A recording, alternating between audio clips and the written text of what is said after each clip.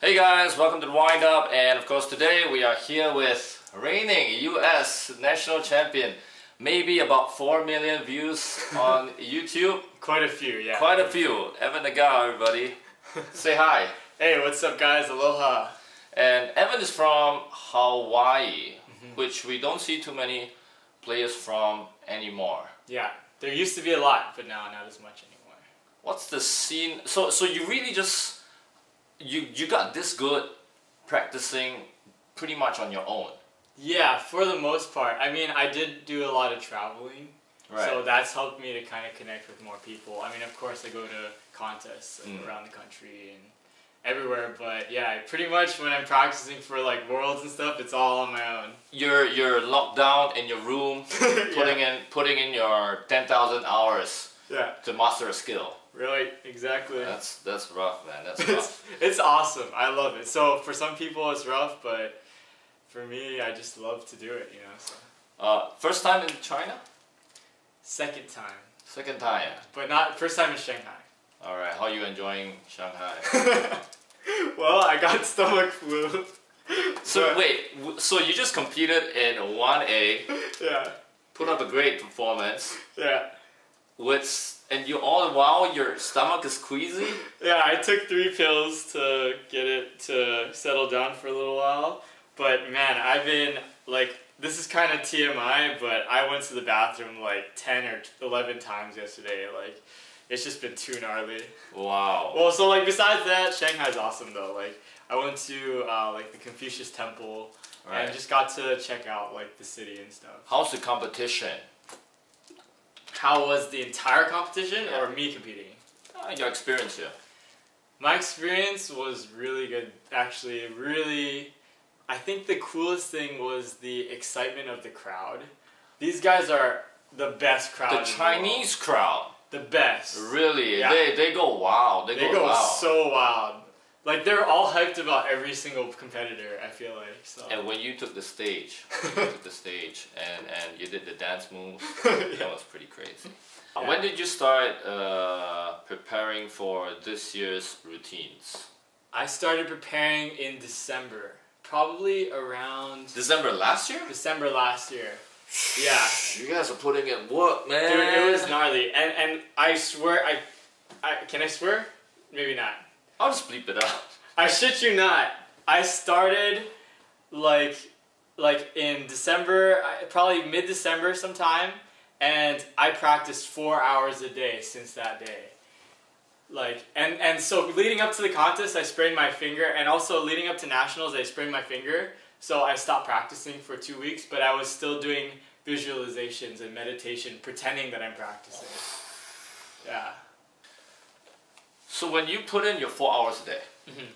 what is what is it like? Like is it just the routine, the routine, the routine, or do you think about wait? So your four hours is just for your freestyle. It's not like coming up with new tricks. It is, it is. So that's So what it includes that. It depends what time of the like how close I am to the contest. Right. So about like so this year I started in December until maybe about April or May I was constructing new tricks and trying to get it all to work, get the freestyle to look good in every right. way. So that's about six months of trick construction. Yeah, maybe less, like maybe 4 or 5 months. But yeah, yeah. Okay. And that's then- intense. Yeah, and then from there like cuz the national yo-yo contest was July 1st. Correct. So I was just practicing my routine that I constructed exactly like that. So from May till July. Yeah. So from May to July, no, no more new tricks go into the freestyle. It's, Sometimes it, it depends. Right. I try I try to well like it's almost like my freestyle was so optimized at that point that there's no tricks that really make sense to change. right. Okay. It's okay. like I like there's no way I can do this better. I mean there probably is, but like as for consistency, like the stage presence, all the different categories, this trick is pretty much as optimized as I can be at the moment. Okay. Um.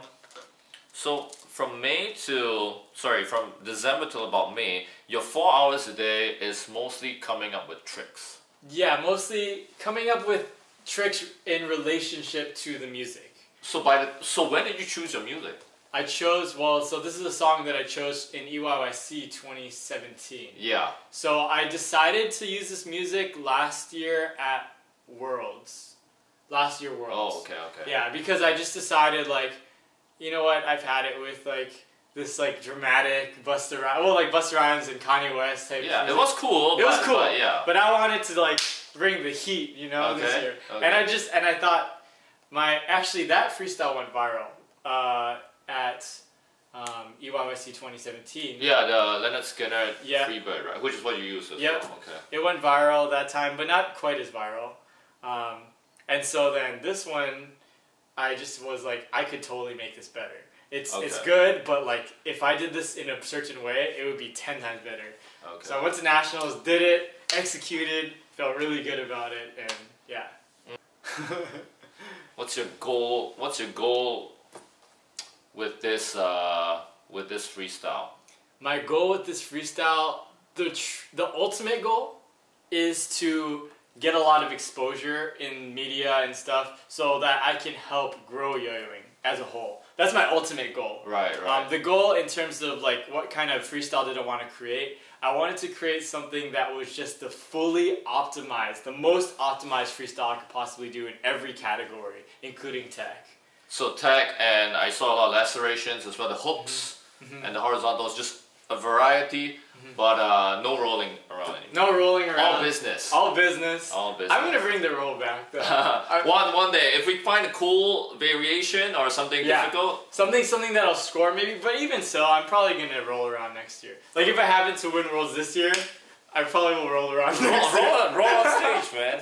How do you how do you find your performance uh, like in an hour ago How? I'm in, sorry. in one A in one A finals? How do you find your performance? How do I find it? Uh, like how did I feel about it? Yeah. Um, I felt pretty good. I had a few fumbles, but I think it felt really good. I, I don't know, like in terms of just hyping up the crowd and stuff. Like right. everybody the was excited. the crowd was hyped. so I was hyped. yeah, I was hyped. You could hear it. I was, I was way hyped. Uh, yeah. did you come here to win? Did I? Yes, yes, hundred percent. Yeah, I definitely. I mean, that's not my first goal. Right. Like I said, but I definitely, of course, I want to win. Like, there's no question about that. And then you let it out. It's kind of like that. And you go for 30 breaths, and then, or 30 to 40 breaths, and then you let it all out on the 30 slash 40th breath, and then you hold your breath.